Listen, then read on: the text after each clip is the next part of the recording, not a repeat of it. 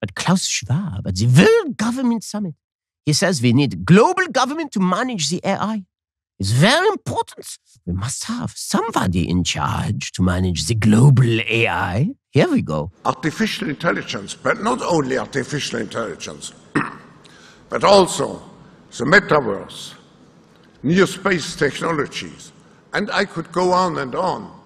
Synthetic biology. Our life in 10 years from now will be completely different, very much affected, and who masters those technologies? Ah, they must be, must be regulated by the world.